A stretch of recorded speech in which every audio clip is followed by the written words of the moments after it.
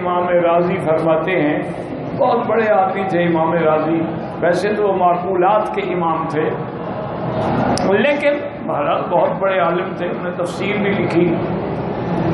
تو فرماتے ہیں کہ ایک دن میں اللہ کی توحید پہ قرآن کی آیات جمع کر رہا۔ تھا تقریباً میں نے تین سو، ساڑھے تین سو قرآن کی آیتیں جمع کی۔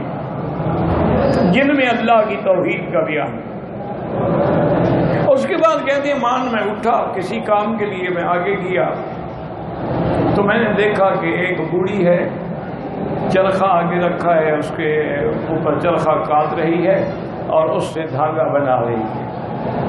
کہتے ہیں، مجھے ویسے خیال آ گیا کہ بھئی میں نے تو ساری رات سرو کر کے تین سو ساٹھ آیتیں جمع کی ہیں۔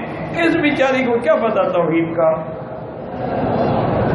پتہ ہے اس نے قرآن بھی پڑھا ہے کہ نہیں پڑھا؟ کہتے خیال آ گیا تو میں بھی چلا گیا، جا کے بیٹھا، سلام کیا۔ اور میں نے بی بی سے پوچھا کہ اما جان، الحمدللہ آپ کا عقیدہ کیا؟ ان کا بیٹا، الحمدللہ میں مسلمان ہوں تو سلام کا جواب نہیں دیا۔ میں نے کہا اچھا اما ایک بات تو بتاؤ، آپ کا یہ یقین ہے کہ خدا ہے؟ دیکھا تو کسی نے نہیں ہے لیکن اس کی ذات پر یقین ہونا کہ خدا ہے۔ انہوں نے کہا ہاں بیٹا، بالکل مجھے یقین ہے، خدا ہے۔ میں نے کہا میں جب کوئی تمہارے پاس کوئی پوچھے کہ خدا ہونے پر آپ کی دلیل کیا ہے؟ کیسے سمجھا آپ نے کہ خدا ہے؟ بیٹا، میں کوئی پڑھی ہوئی تو ہوں نہیں، ساری زندگی اسی کی حالت میں گزر گئی۔ یہ چرخہ ہے نا، اس چرخے کو دیکھ کے میں نے اللہ کو سمجھا۔ امام راضی فرماتے مجھے دلچسپی بھی پیدا ہوئی کہ یار، یہ بوڑھی تو ماشاء اللہ کام کی بات کر رہی ہے۔ میں نے کہا مجھے چرخے سے انہوں نے کہا، بیٹا، دیکھو نا، اب میں چلاتی ہوں تو چرخا چلتا ہے۔ میں ہاتھ روک لوں تو چرخا بند ہو جاتا ہے۔ یہ جب چلانے والے کے بغیر نہیں چلتا، یہ آسمان و زمین کا چرخا بغیر چلانے والے کے چل رہا ہے۔ اس کو بھی تو کوئی چلانے والا ہے۔ اس کا معنی ہے کہ خدا ہے۔ آگے راضی تھا اس نے کہا اچھا مجن یہ بھی تو ہو سکتا ہے نا کہ دو خدا ہوں۔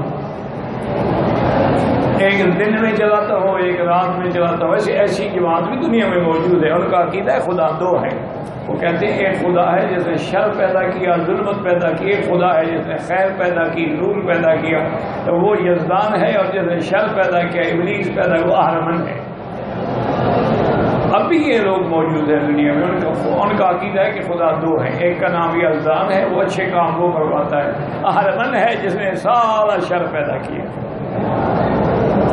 تو اس لیے امام راضی نے فرمایا کہ اما جان، ہو سکتا ہے دو خدا ہوں نے کہا بیٹا، دو نہیں ہو سکتے۔ ایک نے کہا، دلیل کیا ہے؟ انہوں نے کہا، دیکھو نا بیٹا، تم ادھر بیٹھ جاؤ۔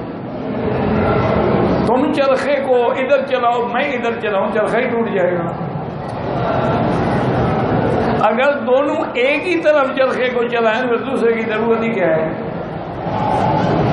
اگر ہم مقابلہ کریں گے چرخے، تو دو خدا ہوتے لو کا نفی ہما آلحت اللہ فصد تھا مگر اس قیام میں دو خدا ہوتے تو زمین و آسمان کا نظام درہم، برہم ہو جاتا۔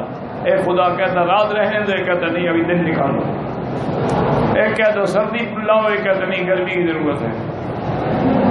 تو نظام عالم تب چل تب چل سکتا ہے کہ وہ لا شریک تو اب جس کو اللہ نے ہدایت دینی تھی، اس کو چرخے سے ہدایت مل گئی۔ ویڈیو کے نیچے سبسکرائب کے بٹن پہ کلک کریں، بیل کے آئیکن پہ کلک کیجیے تاکہ ہر نئی ویڈیو کی نوٹیفیکیشن آپ کو مل جائے۔